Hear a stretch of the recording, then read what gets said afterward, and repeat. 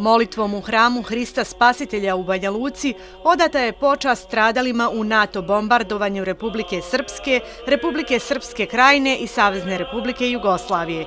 Na ovaj način se želi poslati poruka da Srbi nikada neće zaboraviti svoje žrtve, poručili su predstavnici Srpskog sabranja Baštionik. Želimo da pošaljemo poruku da Srbi nisu niti će zaboraviti svoje žrtve, da pamte sve ono što je se dešavalo 90-ih godina na prostorima gdje su Srbi kao narod živjeli, da pamte svoje žrtve, ali i da pamte svoje želate. Da postoji bilo kakva pravda, NATO Savez bi odgovarao za sve zločine počinjene nad srpskim narodom, rekao je Adamović.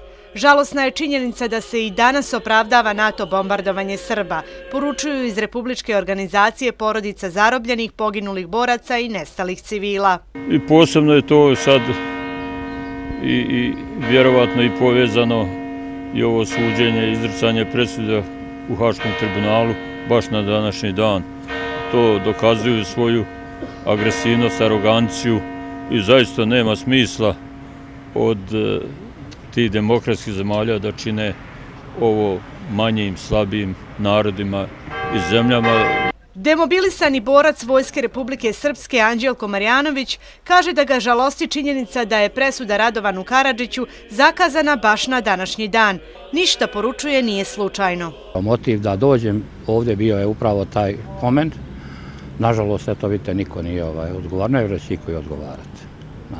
To je zaboravljeno. Čini mi se da je Haag trebao da se izbriše Nirnberg, Da, eto, ja bar tako mislim, nisam istoričar, pa, ovaj, ali tako mislim.